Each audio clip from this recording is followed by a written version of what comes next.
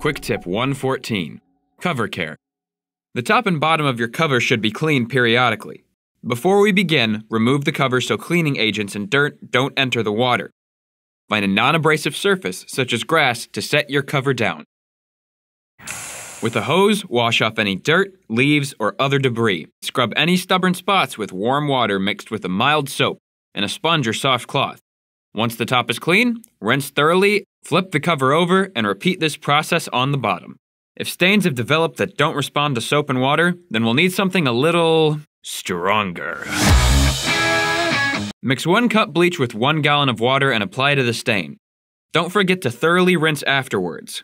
Also, keep in mind the best way for this side to stay in tip top shape is to keep your water clean and chemicals balanced. For help with best practices, check out our how to video that covers routine water maintenance.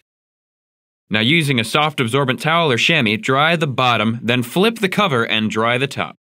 The final step is to condition and protect the vinyl. You can use a product made for hot tub covers or any marine grade vinyl. However, you do not want to use petroleum, silicone, or citrus based products. Follow the instructions of the product you're using. Typically, you just rub it in. Also, never store anything on the cover. And don't allow twigs, leaves, or other debris to collect and sit for too long. Replace the cover, and you're done. For more quick tips, head over to our quick tip playlist. For more in depth helps with Master Spa's features and functions, check out our how to for hot tub owners. And until next time, happy hot tubbing.